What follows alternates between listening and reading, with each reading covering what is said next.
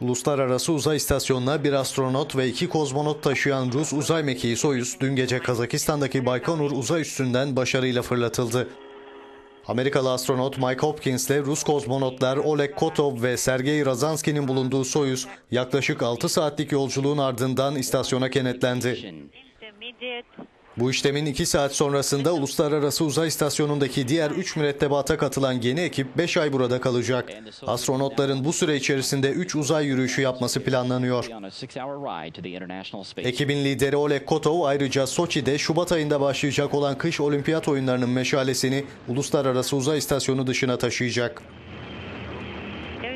on